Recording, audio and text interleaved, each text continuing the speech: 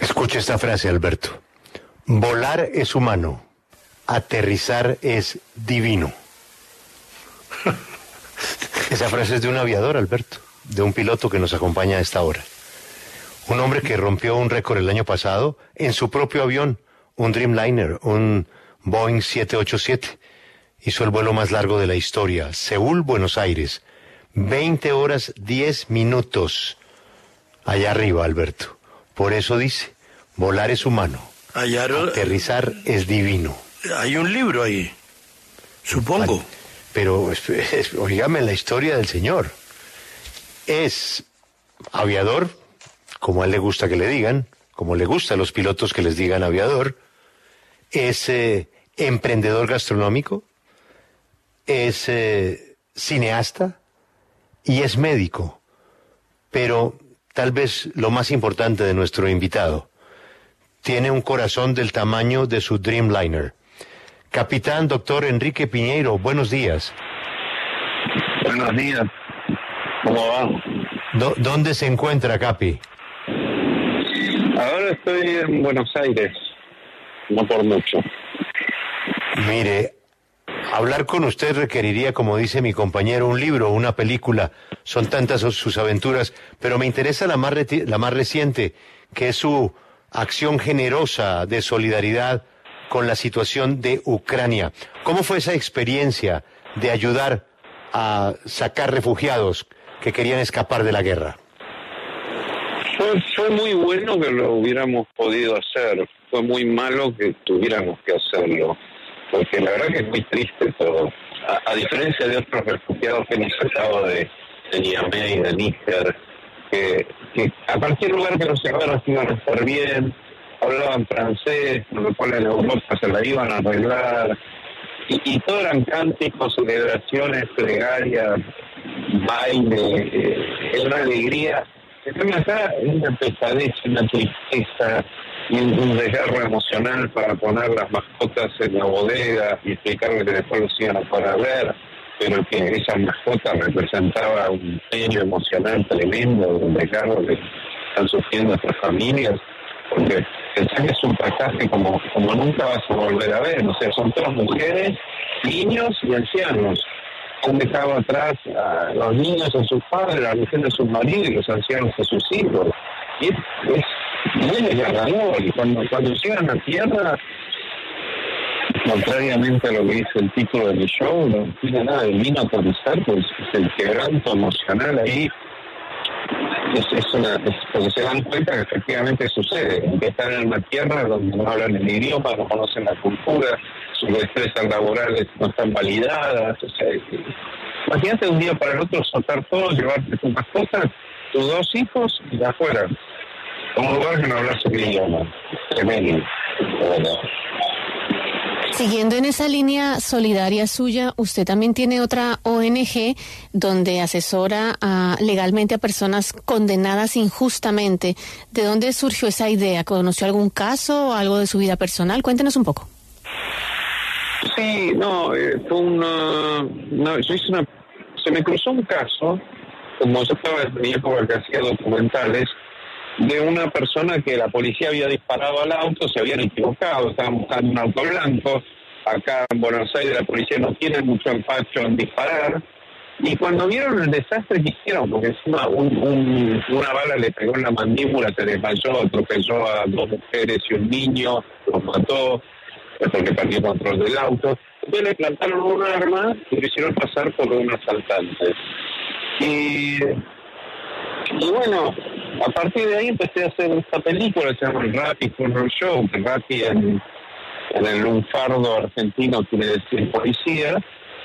Y y obviamente la, la, película fue muy popular en todas las cárceles del país, o sea, me llamaban a proteger la película y hacer la charla post película casi de todas las cárceles del país, cosa que además me gustaba porque de alguna manera era un público cautivo y nada, o sea, la, la cosa se, se mucho en los debates pero ahí me di cuenta que todo el mundo venía varias gente decirme, yo también soy inocente, ¿qué pasa conmigo?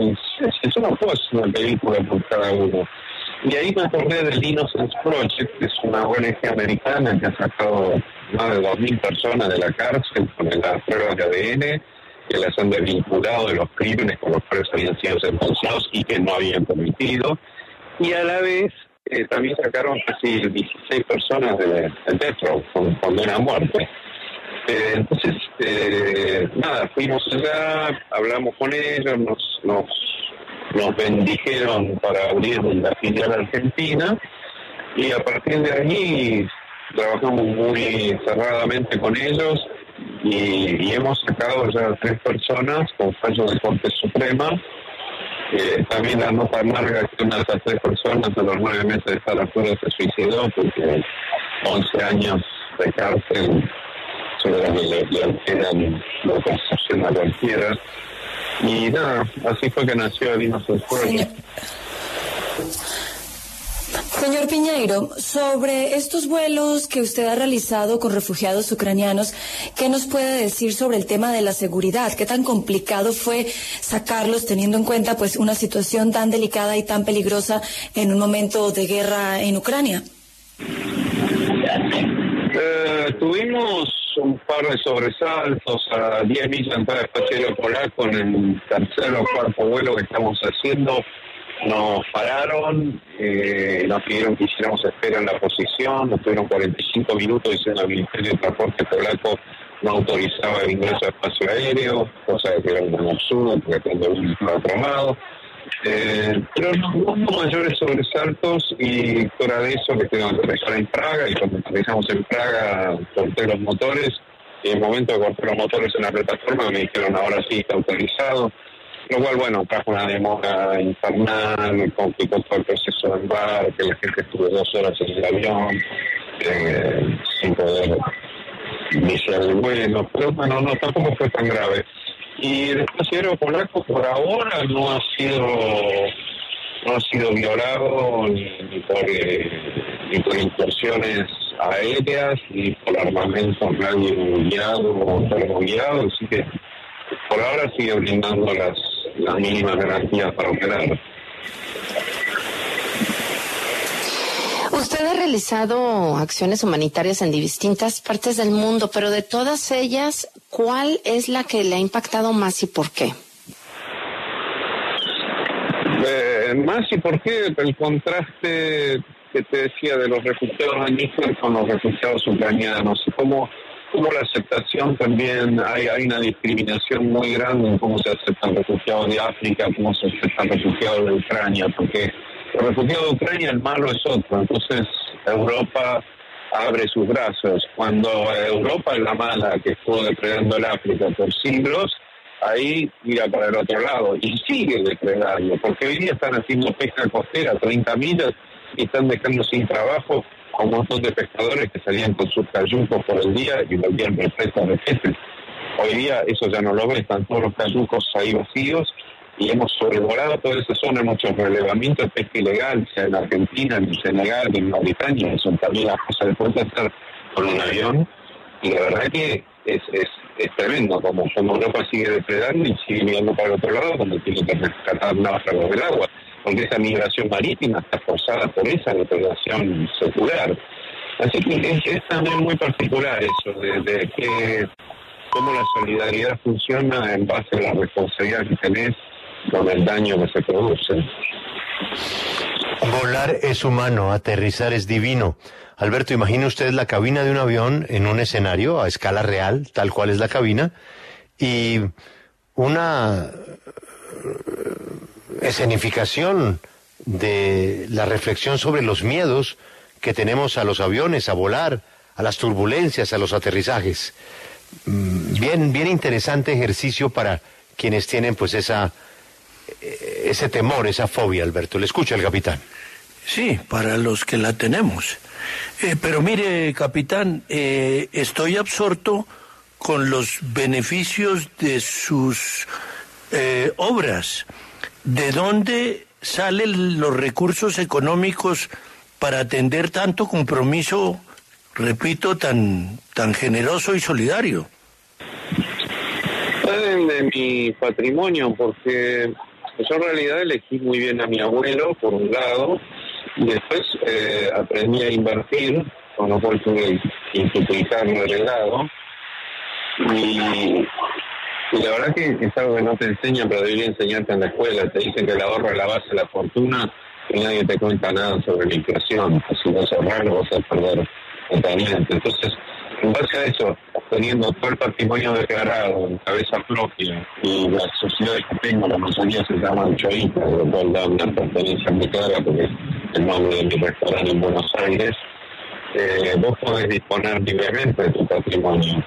Entonces, nada, me parece que en un, en un concepto de capitalismo disruptivo, donde vos decís, pero ¿por qué tú eres una persona que pone tanto dinero y nadie lo pague?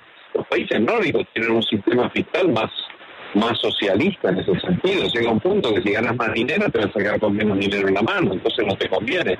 Pero acá es, es limitado. Entonces digo, en un punto, los objetos de lujo, como un yate privado, un avión privado, le compramos un barco de 60 metros a Open para que siga sacando náufragos del Mediterráneo. Pero yo a veces en broma digo que es mi yate privado y, esos objetos de lujo que no cumplen ninguna otra función más que, satisfacer una especie de, de lujuria vehicular, porque siempre se ponen, se ponen aviones, se ponen barcos, se ponen autos. Llega un punto que vos decís, pero no podemos hacer algo un poco más útil con esto. Y, de ahí nace, porque cuando fui a Somalia a hacer un documental, en un país muy peligroso, me di cuenta que toda la logística aérea de la ayuda humanitaria está medio librada a la buena de Dios. Algunas compañías son buenas, que todas cobran fortunas, otras son compañías de países raros, con pilotos rusos que volaron en Afganistán, con aviones rusos medio desvencijados. Entonces, ahí me cayó la ficha de, armar una ONG con gestión de riesgo de línea aérea, piloto de línea aérea y aviones de línea aérea. Bueno, esa es otra frase para anotar. Es que escogí muy bien a mi abuelo. Y voy a la última pregunta. Cuando usted estaba muy, muy joven, ¿había podido seguir disfrutando de lo que dejó el abuelo y no tener que trabajar? Si diera un poquito la mirada atrás, siendo médico, siendo actor, siendo director, siendo piloto, siendo filántropo, ¿usted realmente cuando estaba muy jovencito ¿Qué quería hacer en la vida? Piloto, pero sin ninguna duda, de los tres años.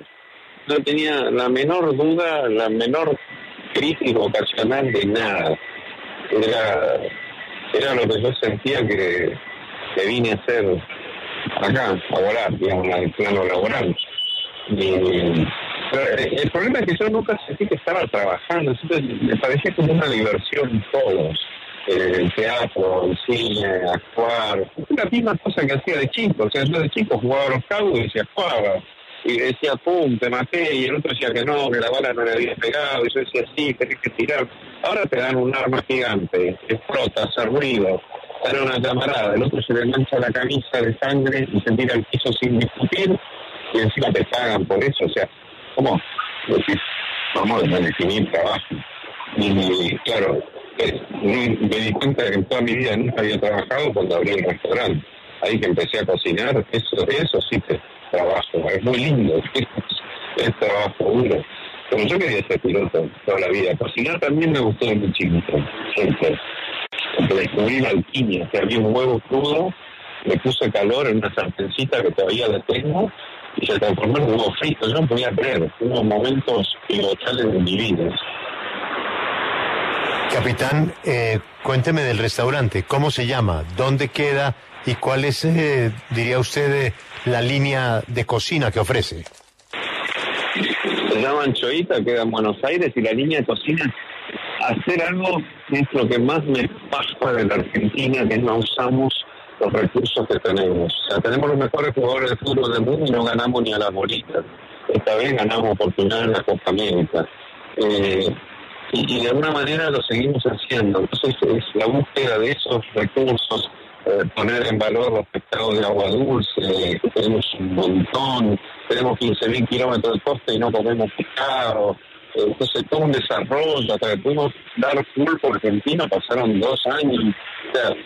Y los productores de quesos argentinos, que te aseguro que no extrañas, no para nada Francia. Eh, y nada, y es eso, es esa idea, y bueno, obviamente con el criterio que la comida es argentina, pero los vinos son del mundo, porque ahora que hay vinos y vinos en todos lados. Y después, mucho uso de la tecnología cuando se puede, o de las fuentes primarias cuando se quiere, o sea, el fuego en todas sus formas y sus organizaciones, eh, siempre esto. Capitán, en sus recorridos me imagino que habrá parado alguna vez en Colombia. ¿Recuerda algo de Colombia? Sí, un montón. Eh, sí, sí, fui varias veces a, Bogotá. Me acuerdo de Andrés, carne de res. Es un lugar único en el mundo. Jamás vi un lugar así. Sí, impresionante. Muy lindo, muy lindo pasé, pero siempre no fui a la noche porque el avión se iba a la noche, que no ni quedaba. Eh, y en Bogotá di muchas vueltas y después fue en Cartagena, eh, preciosa esa ciudad. Y nada, tengo unos muy buenos recuerdos de Colombia, de café, del Museo del Oro, de la Sarita, del baile, de la música. Y a eso agréguele el uniforme, que el uniforme siempre ayuda, ¿no? Sí, sí, sí, simplifica unas cuantas cosas. Pero pasa por los controles hasta, hasta mejor. Capitán Piñeiro, qué placer escucharlo. Muchas gracias por atendernos y felicitaciones por la linda causa que usted lidera. Gracias, gracias a usted por la invitación. Un abrazo. Un abrazo.